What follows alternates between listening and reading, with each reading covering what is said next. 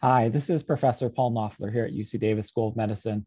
I'm a stem cell and cancer researcher, but I also devote some of my time to educational outreach. Part of that effort is through a blog I do called The Niche that I'll show you about in a minute.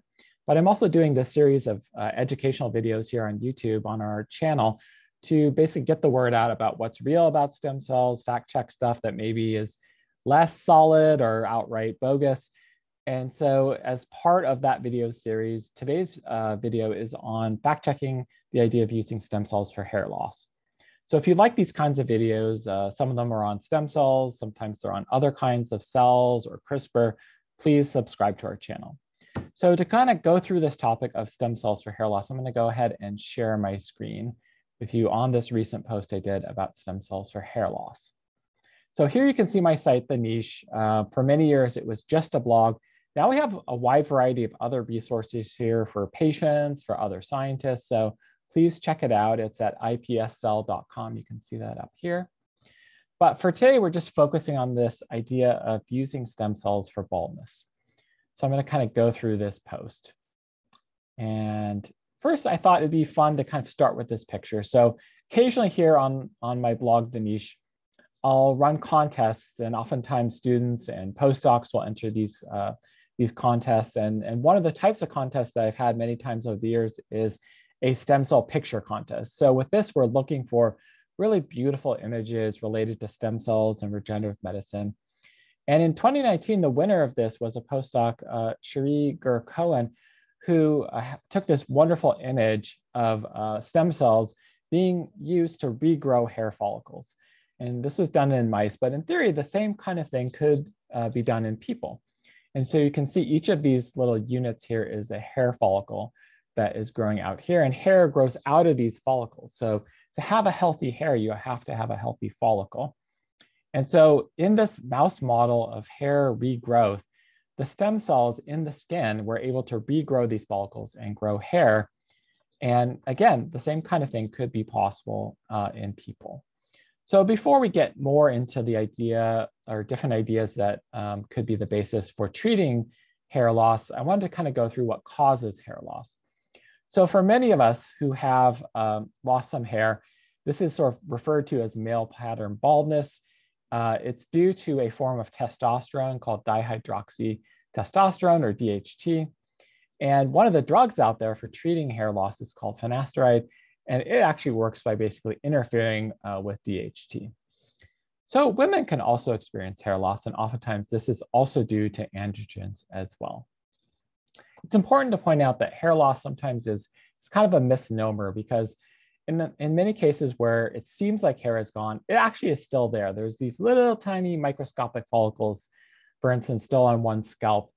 And, and in a way that kind of gives hope because they're still there. There are still living cells in them if we could kind of turn them around and get them back to that healthy state where there's a large follicle, it could grow out a large hair, then, then that could, in theory, reverse hair loss. So again, hair loss, kind of a tricky word um, or tricky term because um, in many cases, the hairs are still there. Uh, again, it should be pointed out, hair loss can be caused by other things besides um, hormonal uh, changes.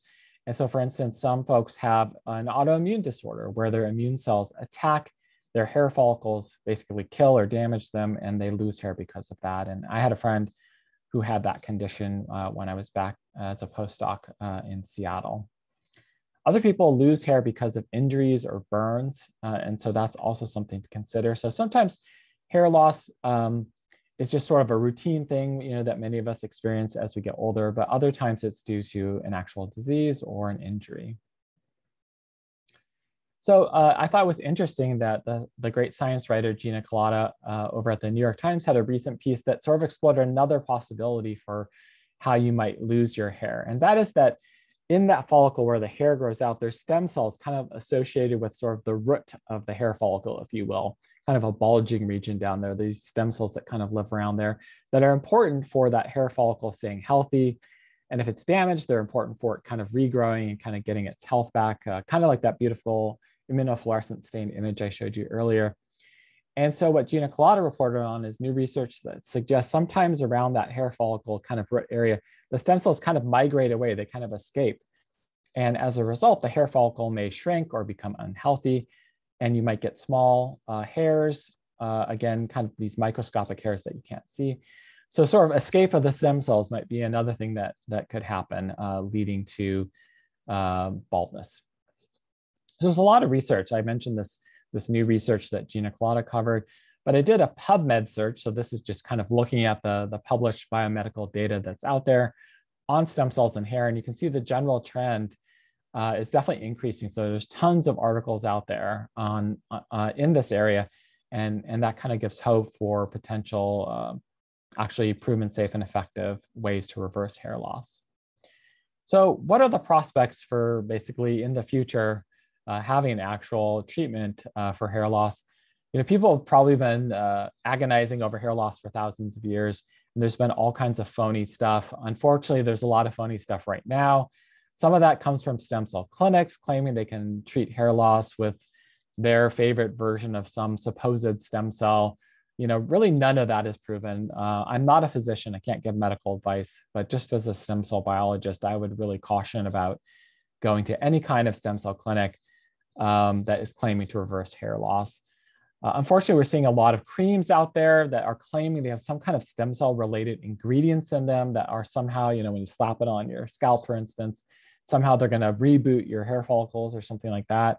I think uh, pretty much almost all of that seems to me to be bogus or at, at best really premature. So I don't think, unfortunately, those products right now or treatments right now are a good way to go. So looking to the future, I can think of three main ways that some stem cell related research might actually truly uh, help uh, hair loss. And the first approach is just what we might think of as kind of the simplest. So I showed you those images of hair follicles that kind of regrew from skin stem cells. And so the idea is if you could take a patient's own skin stem cells and somehow like grow them up in the lab, maybe change them in a way to make them more robust or something like that. If you could then basically uh, implant them in the millions into the scalp uh, of someone who has hair loss, in some cases, they might actually regrow new follicles, and those follicles might regrow new large hairs. So it's a pretty simple idea, but uh, but it you know and it's exciting, but it, it's actually more complicated than you might think. So for instance, if you did this in a patient who has a lot of that hormone DHT, uh, it's not really clear what would happen. You know, would the hormone basically cause the transplanted stem cell grown hair to again kind of fall out and shrink down? Um, we don't really know. I think uh, it's possible that the stem cells uh, could be modified in some way to be resistant to the action of uh, that hormone. If you're talking about a person who has an autoimmune disease that where their again their immune cells attack the hair follicle, any kind of new follicle grown from stem cells might again just be attacked by the immune system. So you have to kind of take that into consideration, take the immune system into consideration in that case. So another idea, which is kind of similar, um, but I think maybe in some ways could be more promising, is to actually first take the stem cells and grow the actual follicles and hair in the lab, and then put those, transplant those uh, into the patient experiencing hair loss. So the first idea is you just transplant stem cells and basically hope for the best that some percentage of them would make follicles that make hair. In the second idea, you're kind of being more direct about it and you're actually making the hair and hair follicles in the lab and transplanting those. To me, this seems like it might be um, a more promising way to go, but you never know. Again, you know, if, if DHT is an issue, would transplants of hair follicles and hairs, you know, just would those basically shrink down and, and not give a good result to the person uh, who received them because of the action of DHT or autoimmune cells? You know, it's not really clear. But those are kind of issues I think that need to be resolved depending on um, the person and their situation, why they experience hair loss. So it's possible that you know either the stem cell approach or the lab-grown follicle approach made from stem cell approach, uh, you know, depending on the person, one or the other might have some advantages. I guess the advantage with the stem cells is you could literally transplant like 100 million of them onto someone's scalp. And even if only a small fraction, like 1%, made healthy hair, then you'd have a million new hairs. So that that that's pretty amazing and might be less laborious than trying to transplant follicles and hairs uh, that you made in the lab. So the third main approach that comes to mind is, is not so, so much transplanting stem cells or stem cell grown hair follicles with hairs. Uh, into people experiencing hair loss. But somehow the research on stem cells may point to drugs that can be developed like more traditional pharmaceuticals or growth factors that then could either reboot those really tiny hair follicles that are still left and, and make them grow large hairs, or they could stimulate the stem cells to grow new, entirely new follicles that maybe would be large. So, so I think this is another area that's pretty promising. Uh, you could imagine, for instance, there might be growth factors. I mentioned the hair follicle and the stem cells that kind of live around it. There's probably growth factors that keep those stem cells from leaving or keep them happy and growing well. So if you could just treat the scalp, for instance, with a, a drug that kind of expanded the scope or numbers of uh, skin stem cells that grow hairs, then that could do the trick. So I showed you that graph. There's a lot of research going on, and it seems like the slope is more research.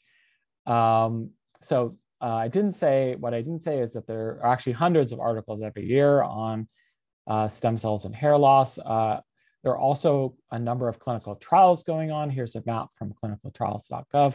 I actually thought there would be more trials. I'm kind of surprised, you know, that there uh, are not that many trials given the scope of this problem. Um, some of these uh, are not kind of the traditional transplant kind of idea. They're just kind of exploring uh, more exploratory and not so much interventional. So not all of these are even true uh, sort of treatments of hair loss kind of trials, but um, but quite a few of them are. So I think that that you know gives some hope. Um, so there's you know a lot of research going on. There are clinical trials. You know maybe there'll be more clinical trials as we move forward. Uh, I should note, you know, in addition to finasteride, there are other things out there like minoxidil. You know, these are things that right now for some people may work, um, but they do sometimes have side effects. They don't always work for everybody. So in the long run, it seems like a cellular kind of approach could be actually better or give better results. Uh, and I hope that kind of timeline looking to the future, you know, hopefully within 10, 20 years, we'll have a real safe and uh, effective treatment based on some kind of cell uh, product that reverses hair loss and that makes people happier about uh, their sort of hair, their hair condition uh, at that time. Again, I really want to emphasize things out there right now uh, other than already FDA approved pharmaceutical drugs uh, in the stem cell space, there's really nothing that should be sold right now. I say, I would say uh, for, for hair loss, whether it's creams or some kind of injections of stem cells into the scalp or IV injections of stem cells, a lot of these things just make no sense. Um, they're just designed to make the people who are selling them a lot of money. All right, so I'm gonna go ahead and stop sharing my screen. And I hope you enjoyed this video. Again, if you like this kind of video, please subscribe. And I hope to see you next time for uh, our next video. Bye-bye.